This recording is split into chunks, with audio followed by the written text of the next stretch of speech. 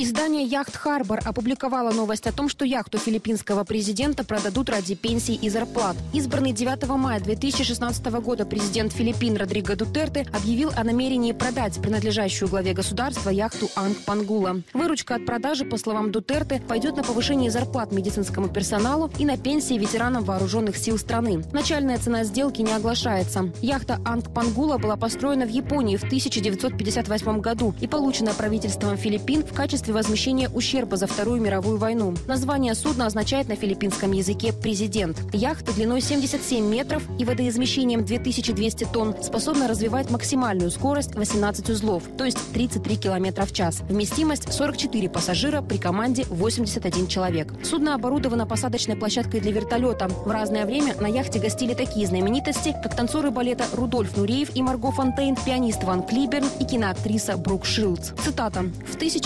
1986 году яхта уже выставлялась на торги с начальной ценой в 5,5 миллионов долларов, однако покупателя не нашла, говорится в статье. 71-летний политик Родриго Дутерте вступит в должность президента 30 июня.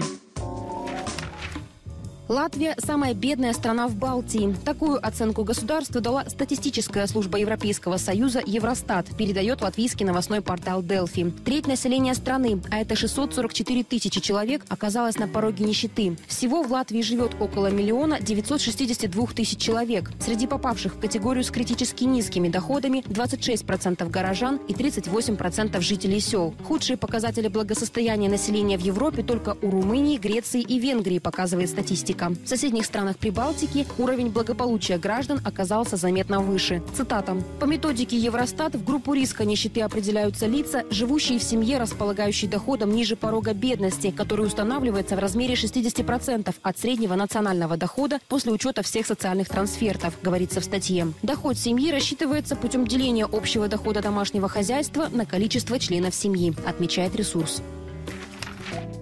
Мобильные телефоны и риски онкозаболеваний. Более 10 лет назад власти США дали старт исследованию, которое было призвано разобраться, влияют ли мобильные телефоны на состояние здоровья, пишет Wall Street Journal. И вот на прошлой неделе были опубликованы первые выводы, сообщает журналист Райан Кнутсон. Ученые сочли их настолько важными, что поспешили обнародовать результаты еще до завершения исследования в целом, пишет он. Цитата. Согласно исследованию, у крыс мужского пола, которые подвергались воздействию слабых радиоволн, вроде тех, что излучаются мобильными телефонами, наблюдался низкий коэффициент заболеваемости опухолями двух типов – мозга и сердца, говорится в статье. Газета подчеркивает, ученые, как авторы исследования, так и те, кто в нем не участвовал, просят не спешить с выводами по вопросу о том, вызывают ли мобильники рак. Эксперты указывают на необычность выводов. У крыс женского пола, которые подвергались воздействию радиоволн, опухоли не выявлены. Кроме того, в некоторых случаях крысы, подвергшиеся воздействию радиоволн, жили дольше, чем крысы из контрольной группы, которых вообще не облучали, отмечает издание исследованием. По словам члена Национального института здоровья, все говорит о том, что результаты исследования – это следствие ошибочной интерпретации данных. Газета также добавляет, предыдущие исследования не обнаружили никаких свидетельств того, что использование мобильного телефона повышает заболеваемость раком.